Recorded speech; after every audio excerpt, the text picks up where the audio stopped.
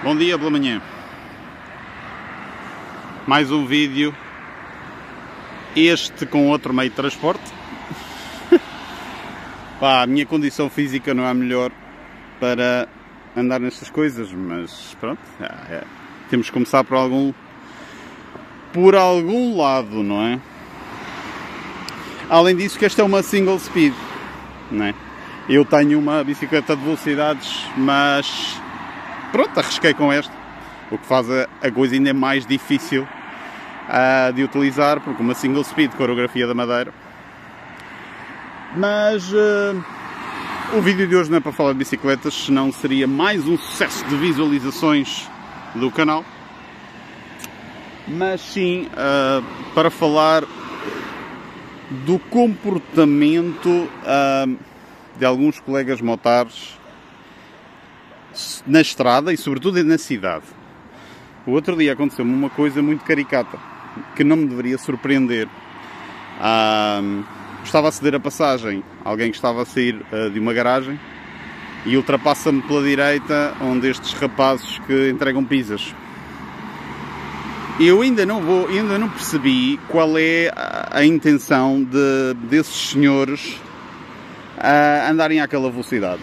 Eles não são propriamente taxistas que, de maneira inversa, ganham mais dinheiro por andar devagar. Eles não ganham mais dinheiro se andam depressa. Até porque, pronto. Eh, depois existe aquela questão de trabalham para uma empresa. Trabalham para uma empresa, levam na caixa o nome da empresa. A empresa devia ter cuidado com essas situações, porque só cria um mau nome, basicamente. E isso, isso é complicado, porque pronto, não quer dizer que os Glovo, os Uber Eats e esses podem fazer o que lhes apetece, porque não consegues identificar. Mas estes, neste caso, são muito fáceis de identificar. Sabemos qual é o local, qual é o sítio e pronto, não, não existirão assim tantos entregadores de pizza. Ah, e eu não compreendo, realmente não compreendo esse tipo de, de comportamento, sinceramente não compreendo.